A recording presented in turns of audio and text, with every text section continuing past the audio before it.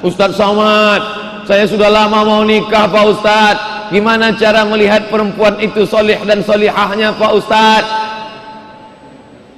Apa kata Nabi Shallallahu Alaihi Wasallam? Tungkahul mar'atu li arba. Perempuan itu dinikahi karena empat. Lima liha karena dia kaya. Kenapa bapak pilih ibu itu? Dulu Pak Ustadz waktu kuliah yang ku cari pacar yang paling banyak cincinnya. Kenapa? Nanti kalau modal habis bisa kujual satu. Wali asabiha karena keturunan anak raja bangsawan berdarah biru. Wali jamal jamal beautiful. Kalau tidak pakai alif jamal onta. Wali jamal karena cantiknya. Wali din karena agamanya. Kalau kau nikahi dia karena hartanya, harta akan binasa. Kalau kau nikahi dia karena bangsawannya. Bangsawan apa itu? Bangsa yang hidup di awan. Kalau kau nikahi dia karena cantiknya hari berganti musim berubah wajah pun ikut berubah. Saya reuni dengan kawan-kawan 20 tahun lalu tidak ketemu. Tamat sekolah 96 sekarang 2018 22 tahun dulu ketemu imut-imut sekarang bukan saya yang ngomong. Begitulah kehidupan manusia. Dulu waktu masih SMA memang cantiknya Masya Allah. Ketika awal-awal pernikahan oh amazing. Rambut bak mayang terurai alis bak semut beriring bibir bak delima merekah pipi bak pauh dilayang tapi setelah anak lahir 2, 3, 4, 5 rambut sudah macam sumbu kompor. Bibir tak lagi delima merekah tapi semangka hampir busuk. Alis tak lagi macam semut beriring tapi macam PNS bubar barisan. Oleh sebab itu maka perempuan itu ibarat bunga. Perempuan selalu diibaratkan bunga kuntum yang akan mekar harum semerbak indah dipandang mata dicium harumnya luar biasa. Tapi bunga tabiatnya setelah kembang kuning layu dan mati. Itulah nasib bunga. Oh nasib bunga. Kau hanyalah kuntum di tengah taman. Akhirnya kau kembang harum semerbak dipetik lalu setelah kumbang memetik manis hilang kau hanya menjadi bunga yang layu dan mati. Makanya sekarang banyak bunga-bunga itu tak ingin layu akhirnya bunga yang tak layu hanyalah bunga plastik. Oleh sebab itu jangan kau pandang kecantikannya karena cantik akan larut dan berubah. Kalau suami tidak siap istrinya berubah maka istri pun akan mempertahankan dia tak akan berubah. Maka pandanglah bukan karena lipstiknya tapi kau pandang karena budi bahasanya karena tutur katanya wajahnya bercahaya karena bekas air wudhu terpancar cahaya dari matanya karena dia baca surat yasin surat al-kahfi malam jumat terpancar kebaikan Kenapa? Nurun diberikan Allah cahaya. Malam tahajud dia berdoa, Allahumma ja'al fi qalbi nura. Jadikan di hatiku cahaya. Wa fi basari nura. Telingaku cahaya. Wa fi aini nura. Dalam telingaku cahaya dalam mataku cahaya. Wa an yamini nura sebelah kanan cahaya. Wa an yasari nura sebelah kiri cahaya. Wa min amima nura dari depanku cahaya. Wa min khalfi nura bagian belakangku cahaya. Wa min fawqi nura atas cahaya. Wa min tahti nura bawah cahaya. Waj'al li nura. Bercahaya wajahnya. Memang saya lihat dia bercahaya Pak Ustaz. Ini fotonya. Kenapa? Photoshop bukan karena itu tapi karena inner beauty kecantikan dari dalam. Bapak Ibu yang dimuliakan Allah bagi yang belum menikah dimudahkan Allah jodohnya. Dapatnya yang soleh dan solehah. Dapatnya yang hafal Al-Quran. Kawan saya dari Makassar. Tidak pernah pacaran dan tidak pernah melihat perempuan itu sebelum akad nikah. Luar biasa tak ada pacaran-pacaran sama dia. Memang dia nikah agak tua lewat 40 tahun. Tapi dia tak pernah melihat calon istrinya. Lalu saya tanya gimana kamu begitu pede menikahi dia tanpa melihat? Aku bertamu ke rumah bapaknya. Terus aku lihat foto bapaknya ganteng. Terus aku lihat wajah ibunya cantik. Terus menurut hukum buah tidak terlalu jauh jatuh dari pohonnya kecuali jatuhnya ke sungai dan dilarikan burung dan ternyata begitu kulihat anaknya cantik. Nah, ini bisa juga jadi jurus. Nanti bertamu ke rumah orang tuanya lihat foto bapaknya lihat foto ibu lalu kau katakan buah tak terlalu jauh jatuh dari pohonnya. Rupanya dilarikan burung.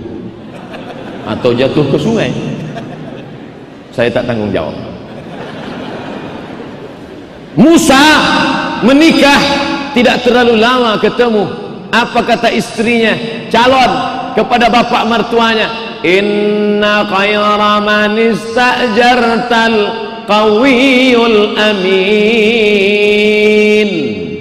Hai ayah kalau kau mau cari pekerja carilah orang seperti Musa. Bagaimana sifatnya? Al-qawi kuat. Al-amin amanah. Oh bapaknya marah. Dari mana kau tahu dia ini kuat dan amanah? Berarti kau sudah lama pacaran dengan dia tidak ayah. Aku baru ketemu dia dari sumur ngambil air ke rumah. Tapi aku sudah tahu dia jujur dan amanah. Dari mana kau tahu dia kuat?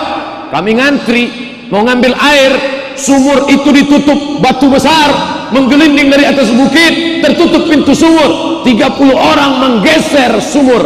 Tapi tidak ada yang bisa. Tiba-tiba Musa datang sendirian dia geser.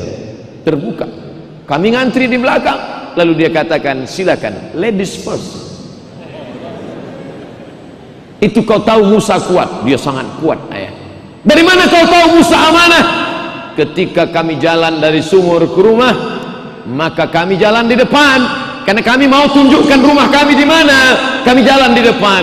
Tiba-tiba datang angin bertiup kencang. Ketika angin bertiup kencang maka nampak lekuk tubuh kami Musa pun maju ke depan dan kami yang di belakang. Begitu zaman Nabi Musa perempuan-perempuan itu nampak lekuk tubuhnya setelah angin bertiup kencang. Zaman sekarang tidak ada angin pun nampak. Bapak Ibu yang dimuliakan Allah sungguh cerita dalam Al-Quran fa'tabiru ya ulil absar ambil iktibar ambil pelajaran. Nah, setelah berjumpa laki-laki yang saleh dengan perempuan yang salehah, maka jadilah keluarga yang sakinah, mawaddah, warahmah. Amin. Ada suaminya baik, istrinya tak baik. Bapak Ibu semua tahu siapa dia? Nuh alaihi salam. Maka lahirlah anak durhaka bernama Kanan Ya bunayya rakam ma'ana. Hai anakku mari naik ke perahu bapak. Kan an tidak mau. Sa'awi ila jabalin ya'simuni minal ma' Aku tak perlu naik sampan bapak. Aku tak perlu naik perahu bapak. Aku akan naik ke atas bukit yang bisa menyelamatkan aku. Suami baik, istri tidak baik. Lahir anak yang tak baik. Ada suaminya tidak baik Istrinya baik. Siapa dia? Fir'aun nama istrinya Asyah. Makanya ada doa Asyah dalam Quran. Rabbi benili indaka baitan fil jannah. Bangunkan untukku satu rumah dalam surga. Wa najjini min fir'auna wa amalihi. Selamatkan aku dari Fir'aun dan perbuatannya. Wa najjini minal qaumil zalimin. Selamatkan aku dari orang yang zalim. Asyah. Jauh berjalan banyak dilihat lama hidup banyak dirasa lama jadi ustad banyak yang curhat. Ustaz Somad kami bangun malam tahajud tapi suami kami pulang mulutnya bau narkoba. Dia bawa WTS maaf ke rumah. Gimana nasib kami Pak Ustaz? Kau senasib dengan Asia suamimu Fir'aun. Jadi gimana Pak Ustaz? Kau banyak-banyak aja doa insya Allah lama-lama nanti dia tenggelam di laut merah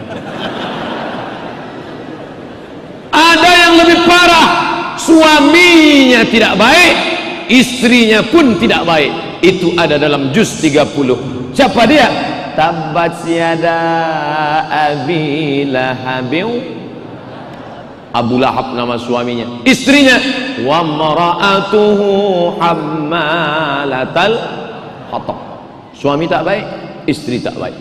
Tapi ada sebaliknya. Dua-duanya baik. Suaminya baik istrinya baik itulah namanya yang kita sebut dalam salat tadi. Kama sallaita ala Ibrahim wa ala kama barakta ala Ibrahim wa ala apakah bapak ibu mau menjadi keluarga Ibrahim? Tapi Ibrahim istrinya dua. Kata ibu-ibu kalau gitu pulang lagi Pak Ustaz Bapak Ibu yang dimuliakan Allah Subhanahu wa taala maka kita perbaiki ini semua dari ibu-ibu yang solehah mana ciri ibu yang solehah tidak mau bercampur aduk dengan laki-laki. Ah, ini ada pagar. Adapun yang keluar pagar outside. Adapun yang keluar pagar karena terpaksa tak ada tempat. Jangan tersinggung ibu. Jangan marah. Tidak apa-apa. Malam ini kita maafkan. Ada luar biasa. Di Kalimantan Tengah perempuan derajatnya tinggi. Mana buktinya? Lantai tiga.